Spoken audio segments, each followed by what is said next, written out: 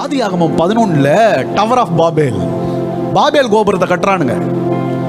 எல்லா பாஷக்காரர்களும் எல்லாம் ஒரே பாஷை தான் இப்போ. எல்லாரும் சேர்ந்து பூமியின் கீழே இருக்கிறவங்க எல்லாம் ஒன்னாகி தே வாண்டட் டு என்ன பண்றாங்க? ரீச் ஹெவன் அவன் சொல்றாங்க வானத்தை எட்டும் அளவு ஒரு சிகரத்தை கட்டுவோம்.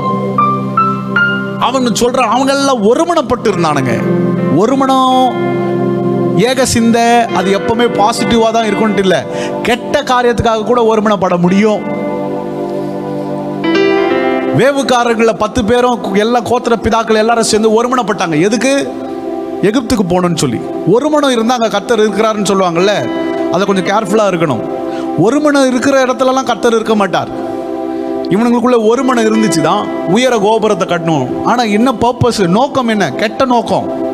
என்ன நோக்கம்? வானத்தை எட்டும் அளவுக்கு சிகரம் கட்டி நமக்கு பூமியிலே ஒரு பெயர் உண்டாக்குவோம்.